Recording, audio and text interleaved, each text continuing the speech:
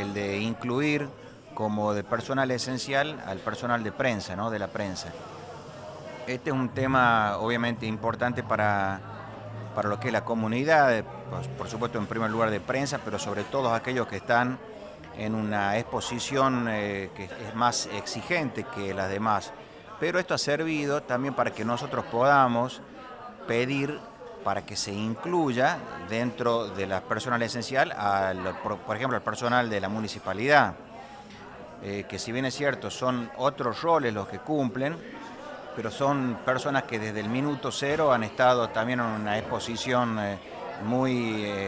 eh, peligrosa con el tema del virus y que no han cesado en ningún momento su tarea, al igual que ustedes. Ustedes que cumplen una función tan importante, que andan por todos lados, entonces hemos pedido que junto con la, actividad de la prensa también se equipare a todo lo que es el personal municipal y todo aquel de riesgo